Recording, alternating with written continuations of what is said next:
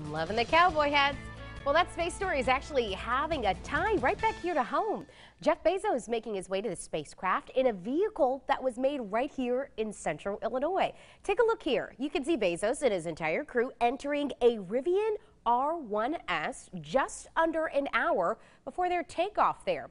Leaders at Rivian say that the pre-production vehicle was actually built at their manufacturing plant in Normal. In total, Bezos' trip to space lasted just about 11 minutes before landing back in West Texas.